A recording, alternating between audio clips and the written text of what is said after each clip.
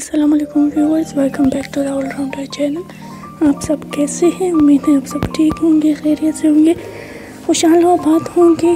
तो देखिए, आज मैं बहुत ही खूबसूरत वीडियो आपके साथ शेयर करूँगी।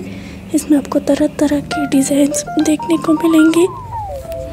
आपको पोम पोम जो लेस है, उसके दो तीन किस्म के आइडियाज़ मिलेंगे। नेक लाइन कैसे बने उससे दामन या नीचे लेस कैसे लगाए? तो आप इससे आइडिया ले सकते हो, अपना बनवा सकते हैं टेलर से भी बनवा सकते हैं, घर में भी बनवा सकते हैं।